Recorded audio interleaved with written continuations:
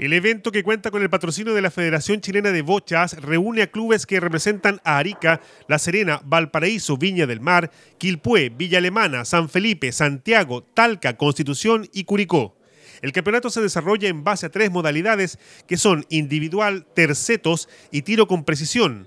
Los torneos se realizan desde las 8 y media de la mañana y hasta las 13 horas en las series matinales y desde las 14.30 horas hasta las 19.30 horas por la tarde.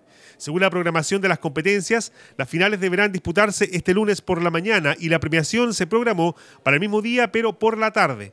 El presidente de la rama de bochas del Club Esportiva Italiana, Francisco La Sala, indicó que este tipo de torneos es importante para el desarrollo del deporte en Iquique y para revitalizar la práctica de la bocha, que en el pasado dio campeones nacionales para esta ciudad.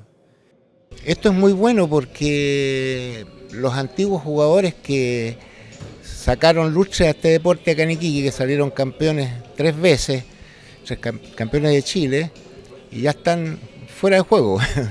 Y ahora hay, nuevos jugadores que están surgiendo y eso me da mucho gusto porque significa que estamos reverdeciendo la bocha. Entonces lo interesante es dar entusiasmar a la gente para que practique más este deporte.